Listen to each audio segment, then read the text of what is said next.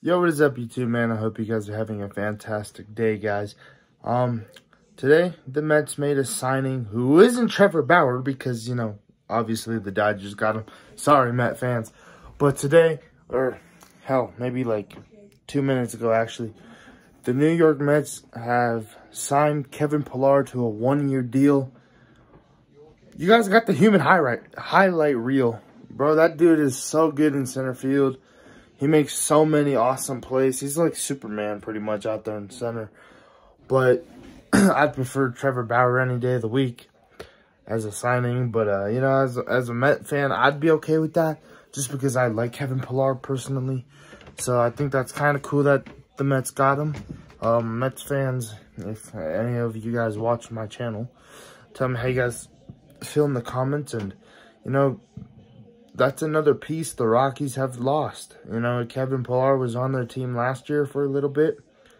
And now he's going to be a New York Met. So now the Rockies, you know, I'm kind of questioning what their outfield's going to look like.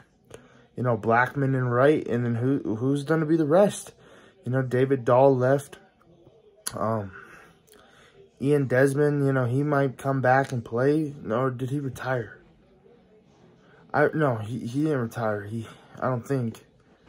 No, he didn't retire. He uh he he sat out last year because of COVID.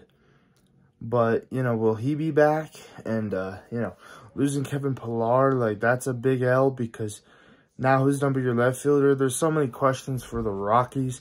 But for the Mets, I think this is a good signing, in my personal opinion, just because I like Kevin Pillar. Um, so hopefully he does good in New York and you know, hopefully does some highlight type plays, you know, will make Sports Center or ESPN or, or top 100 plays of MLB of the 2021 season after the season's over. But, you know, I think it's a good pickup for the Mets. Y'all tell me what y'all think down in the comments. Um, all right.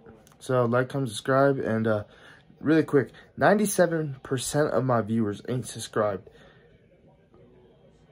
it, it, I'm just saying, if if you have the time, just hit the subscribe button.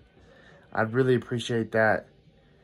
And I'll see you guys in the next video. Man, I'm freaking tired, man. But, alright, see you guys.